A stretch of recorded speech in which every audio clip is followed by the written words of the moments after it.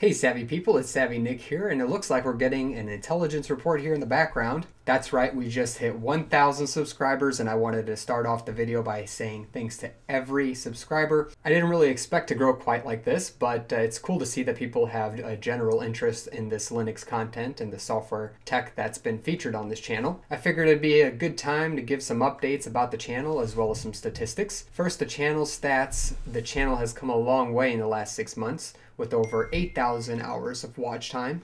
This is getting close to a year's worth of time, so that's quite amazing to me at least.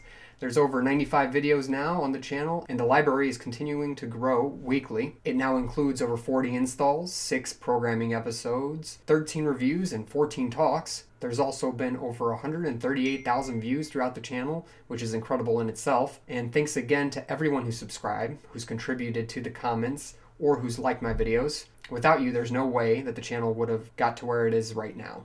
So as far as the updates go, I do plan on keeping up with the expanding library of videos, including more programming videos, installs, reviews, talks, and engineering to come. I also am working on getting out a wiki page for the channel where there can be more in-depth articles kept up with some of the subjects that I cover and that I can update periodically. I'm also happy to announce that a Discord channel, which I'll supply a link in the description below. So if you want to talk Linux or programming, feel free to join. If you need a little help with those subjects, we have members who are willing to answer questions and try helping you out. Also, be on the lookout for a new series coming soon that explores other aspects that haven't quite been covered yet about Linux on this channel. If you're new and stopping by today, make sure you do take a moment to subscribe and hit the notification bell for more videos. Alright, so now let's get into the subject of today's video, the GNOME Tweak tool, or now known as Tweaks. It's an amazing tool if you have the GNOME desktop environment installed on your Linux distribution. It can help you change up the desktop environment to your liking and helps with such things as setting up fonts, icons, cursors, backgrounds, and more. So let's go ahead and launch the Ubuntu Software Center in order to go ahead and download Tweaks. What we can do is go to this magnifying glass and search for it. If we just type in tweaks. I think we'll be able to find it.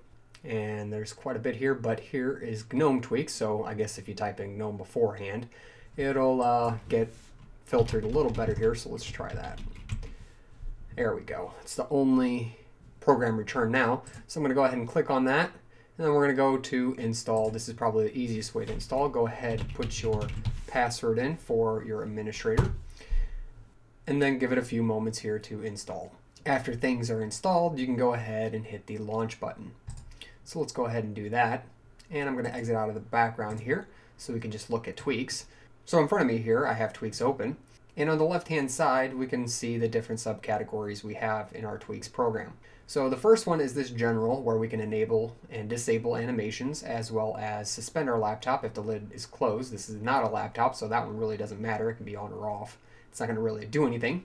But if I go to appearance, this one is uh, where things start getting a little more exciting. Right here we can change the applications theme, the cursor theme, and the icons theme. So if we wanted to, we can go ahead and select something like Yaru-dark. As you can see, the backgrounds get a lot darker and this actually matches my theme a lot better. So this might be something I want to use. Um, and there's a few other options, of course, here. You got this Adwaita Dark, high contrast, which is very high in contrast and uh, very bright. And then you got the inverse of that contrast, which is just black with white accents. So uh, I'm probably actually going to go with this um, Adwaita Dark. And then for cursor, I probably need something white so I can change here for the defaults. Of course, you can add in more of your own cursors and as well as applications. And I'll show you how to get some, uh, at least icons and how to change up the GNOME shell here in a little bit. So you can see that my cursor changed a little bit. White glass isn't too bad.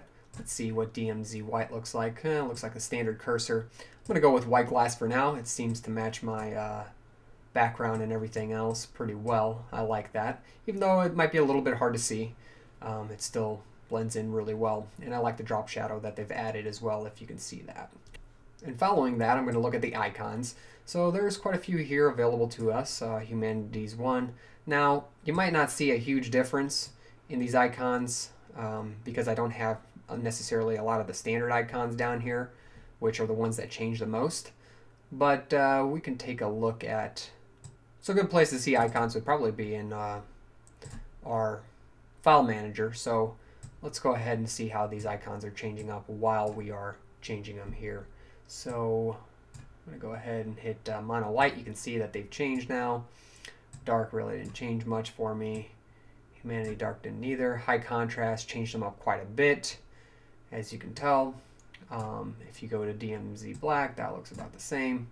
My thought is uh, these standard ones that come default with the GNOME tweaks are pretty good, but uh, we can definitely download some better ones and give those a shot here in a little bit. We'll continue going through here. We have extensions that you can turn on and off. So here it says, uh, do you want to be able to add icons to the desktop? Well, if we turn that on, then we will be able to add uh, icons to the background. And then a few other extension options. You can also add your own extensions, and we will be doing this here in a moment. Uh, we'll continue down to fonts. So here we can change what type of font we want to use if you like a different font than the standard.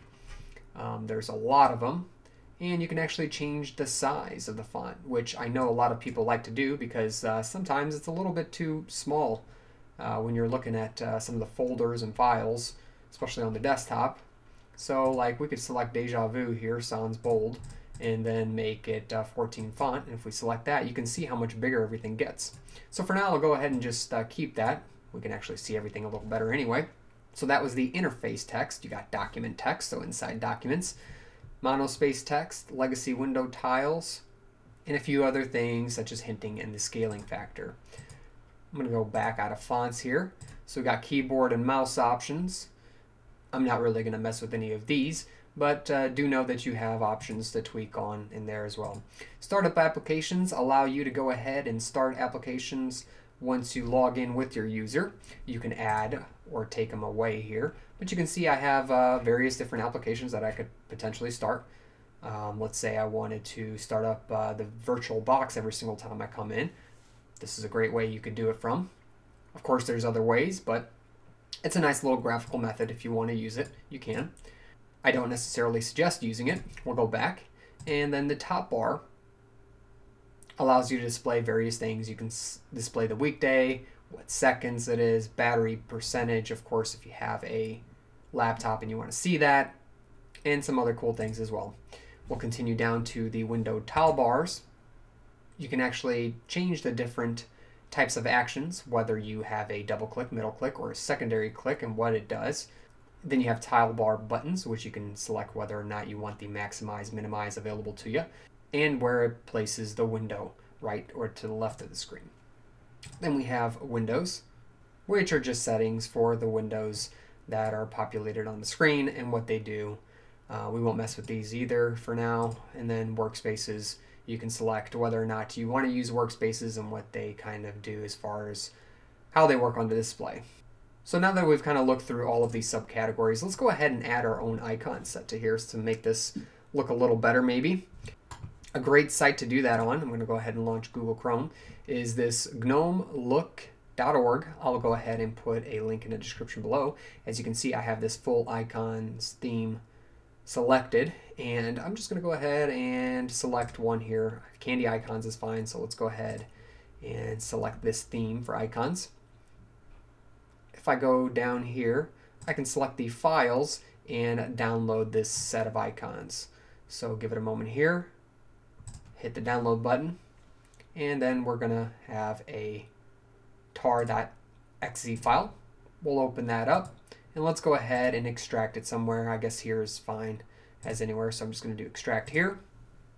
And I have this Candy Icons folder now. So next I'm going to go ahead and create a directory called .icons inside the home user directory. So I'm going to go ahead and launch a terminal make this a little bigger for us so we can see. And then I'm going to get rid of everything in the background here so there's not too much going on. Minimize that. All right, we're back on the desktop. Let me minimize this as well and the tweaks tool. So I'll make this just a little bigger. And let's just focus on this right now. Since my user is called SavvyNik, that's where I'm going to go ahead and create my directory, as you can see. If I do pwd, I'm in home SavvyNik. Therefore, I'm located in the home folder for my user. So I'm just going to use the move command so I can move over that folder that I just got done downloading after I make my directory. So right now there's no directory called .icon, so I can make it by doing make mkdir and then put a space in and uh, we'll just make it here. So so dot icons. And I'm going to go ahead and press enter. Now I'll change directories. So I am in my icons directory and of course I have nothing in here and then I'm going to go ahead and move from my downloads folder let's see downloads and I think it was called let's see it's called candy icons and where do I want to move this folder I want to move it in icons so here you can always just type in the full directory path if you want as well, if that's easier on you. After I press enter, I'm going to go ahead and check if Candy Icons exists in here. It does, great. And after that's done, I'm going to go back into Tweaks and set the active icon set to be the one I just got finished downloading, Candy. So let's go ahead and do that. I'm going to minimize these screens and get back into Tweaks here. You might have to restart Tweaks, so I'm just going to go ahead and do that right away bring it back up, go to my appearance, and let's see if we can find candy icons. And sure enough, we can. And now you can definitely tell a difference in the bottom here. You can see all these little updated icons for terminal tweaks and uh, our Oracle VirtualBox program as well as Google Chrome. Let's see what other icons have changed now. Folders look a little bit different here. Of course, I have Komorebi installed, so I think that's overwriting what's here in the background. I'll probably just remove these anyway. I don't necessarily need them on my desktop. But as you can see, it definitely changed the icons up. As you can see, they look pretty good, but not necessarily for my theme here that I already have going. Uh, I might uh, change these a little bit later. But let's go ahead and make another change just to kind of see how we can install an extension and then how we can get rid of this uh, little notification here. It says that the shell user theme extension is not enabled, so we can't change the shell right now if we try. And one other mention, you may be forced to restart your computer before you see changes in the uh, background of the desktop environment, so the icons back there, just so you know. If they don't change, give that a shot. So in order to uh, install this shell extension, I'm going to go ahead and use a terminal again. It's probably the easiest way. So let's go ahead and just launch the one that we were using a moment ago. And here we go. We're back here. And all we have to do is uh, sudo apt install gnome dash shell dash extensions. And that should be able to get the extensions for us. Go ahead and put your administrative password in. Say yes, and let it do its magic here. Pull down the package.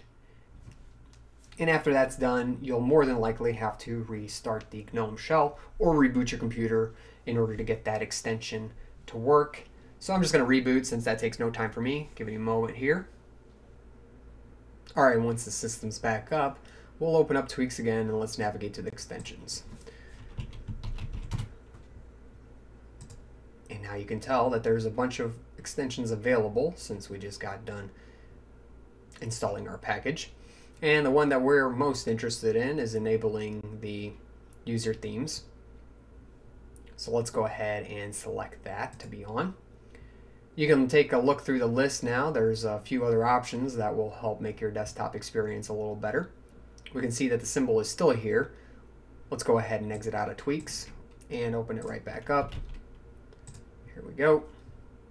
Go back to Extensions and then go back to Appearance and you can tell now that shell is available and we have a drop down available. Now there's nothing else besides the default so we're going to have to install our own theme again. Let's go back to the GNOME Look website. If I launch my Google Chrome, I have it here. GNOME Shell Themes is what I have selected for my category. And we'll look through real quick and find a theme to use. Um, let's see. Let's just go ahead and use the transparent uh, shell theme. Why not? It's got a pretty good score. We're going to go ahead and click on this. And then just like we did before, files and download your theme. You'll hit download and once your file is finished downloading, show it in the folder. Let's go ahead and extract it here. And now what we have to do is move this folder into a directory called themes. And we'll have to go through a very similar process as we did before. So let me launch a terminal, make this a little bigger so we can see. And Let's go ahead and make that directory since we're in the home directory. If you're not, go ahead and just do cd and this tilde, and that will take you to the home directory right away. Uh, what I'll do is make dir. I'm going to use a tilde again, so no matter where I'm at, I still create the correct folder in the correct place, and I'm going to call it dot .themes. So after I make that directory, I should be able to get into the directory. So I do cd dot .themes, and now I'm in here. There's nothing located in here. We have to move the folder from the downloads folder into this themes folder. So let's do that. Mv space, we'll use the tilde again, downloads, and there should be a transparent shell theme folder. Let's go ahead and move that and just put a dot, which means right in here. Or you can also replace this, of course, with tilde dot themes. So now if we list what's in themes, we have a folder called Transparent Shell Theme 3.7. And the next thing we do is launch that tweaks. Go ahead, close out so it can reload. We'll type tweaks in once more and go to appearance. And now you can see that there's a transparent shell theme 3.7. I select that and it looks like it changed a few things here in the background. Let's go ahead and check it out. So I'm gonna go out of all of this you can see that there's a little bit more transparency on my taskbar here as well as on the top. Um, it's kind of hard to see. I do notice if I right click there's a lot more transparency as well. Let's see if we load the file manager here what happens. Um, it doesn't look like much change so what I'm going to do real quick again is restart my computer and see if I get more changes. So let's go ahead and restart to make sure everything was installed properly. And after restarting my computer, I didn't notice uh, too big of a difference. So what I'm going to do is uh, just close down Komorebi real quick. So quit out of here. Now I can definitely see a difference. If I right click, you can see how transparent uh, this background is, as well as up top. It's very transparent now. Just kind of hard to see with that other live wallpaper. But there's a ton of themes out there that you can play with and enjoy, as well as other things that you can customize your desktop with. It's definitely fun messing around with GNOME tweaks. I suggest if you have GNOME desktop environment installed to go ahead and give it a try just to spice up your computer a little bit as you can see how many different icons have now changed and it just gives it a little bit of a more customized feel.